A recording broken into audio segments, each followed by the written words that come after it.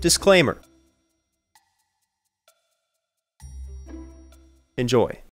Being a musician is pretty dirty business. If you've seen one of my guitar restoration videos, you can vouch for me here. In some extreme cases, I've seen finger gunk caked on the fretboard that's turned green over time. It's dirty stuff. Perhaps you were in the splash zone of some really hooked up musicians. Dude, yes, I'm so glad we waited six hours in line to beat out pretty much the entirety of general admission. Dude, so true. I could practically smell the lead guitar player's cologne. Take us there!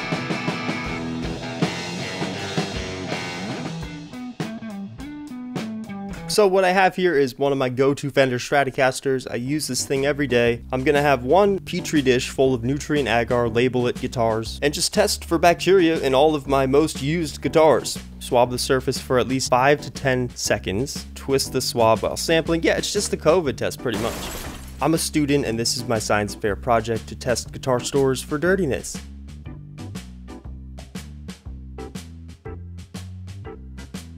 Definitely playing a lot of licks around the 12th fret. Okay, well I already screwed this up. Supposed to get the tip wet for 5 to 15 seconds and I did not do that. Water's not the worst thing for a guitar, so don't fret it. Oops. Mississippi, 4 Mississippi, 5 Mississippi. That is filthy, dude.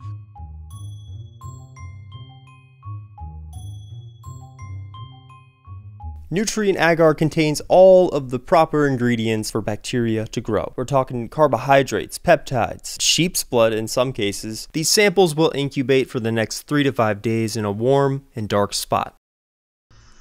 Appreciate your help on the last video. Hey, Mike. I'm doing a sort of science experiment today about cleanliness of different guitar shops, and I wanted to get your input on that and perhaps test a guitar Today's just a bad day. I'm doing a science experiment, really. You're gonna have to talk to. Him. He won't be back in till tomorrow.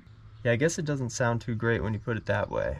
I was calling beforehand, laying out my plan in front of them. I don't think that helped at all. If we're gonna do this, it needs to be covert, like some undercover boss business. I'm half expecting the employees to come running after me saying, No, wait, you have important information.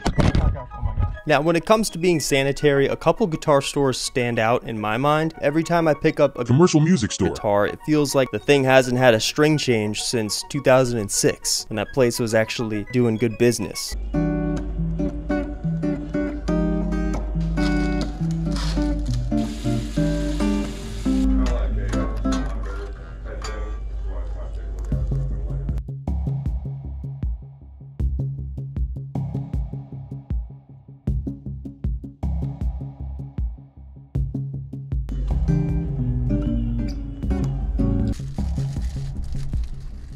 Oh yeah.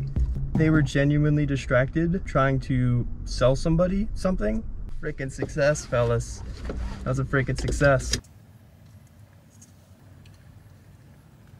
I mean, I sat around playing for at least 30 minutes. When I was ready, I asked, I didn't ask to use the restroom, this is not fifth grade. I walked up to use the restroom. The wet Q-tips will help carry the bacteria from one place to another. This next location is like sacred to me. Cheap wave. There was just cool gear. I got my telly strap there.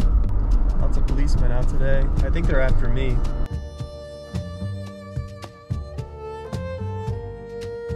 Slow. Oh shit, here we are. Hi there. Need help with anything?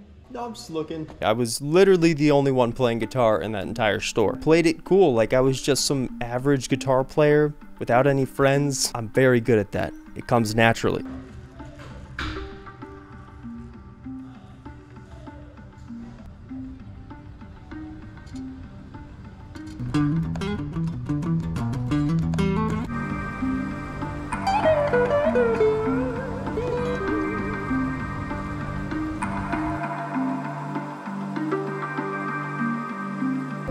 Do you mind if I try out a pedal? Sure, what'd you like to try out? The Q-Tron?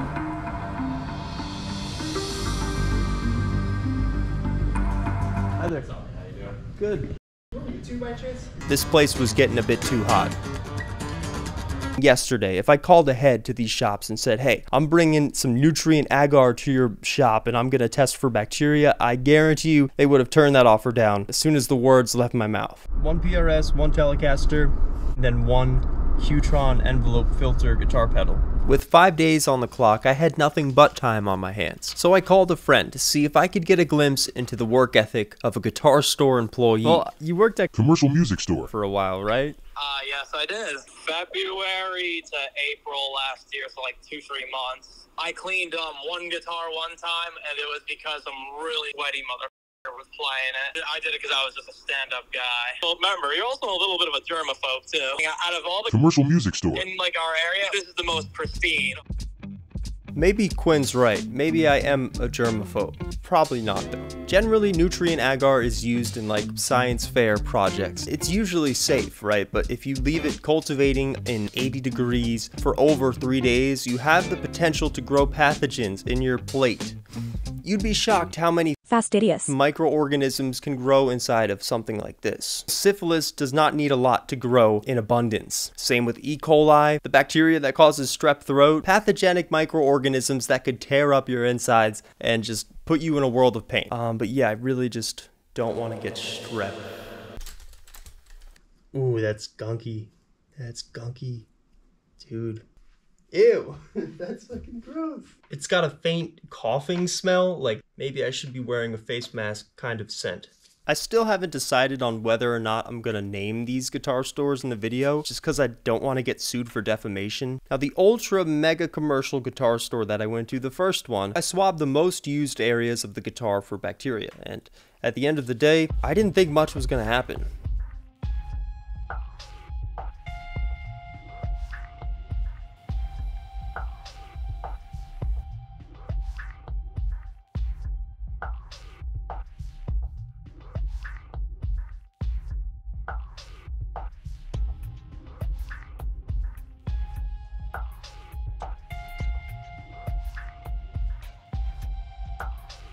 Ew, was that's the grossest thing I've ever seen. Granted, this is only three or four days after incubating, plenty of time to grow bacteria. The Boss DS1 pedal that I use all the time, it was like something out of the blob.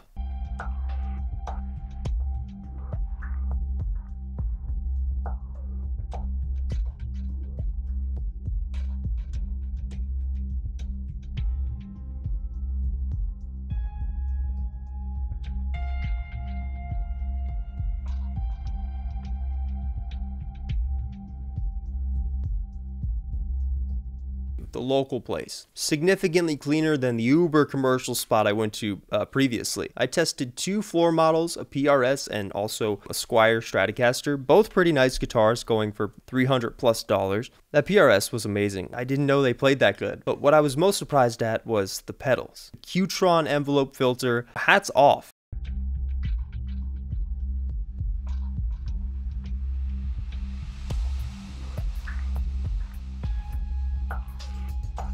These devices are literally meant to be on the floor, and they're meant to be stomped on. But somehow, by keeping all of their pedals in a glass case, it drew the least amount of bacteria out of this whole experiment. I mean, we're talking minuscule mold specks.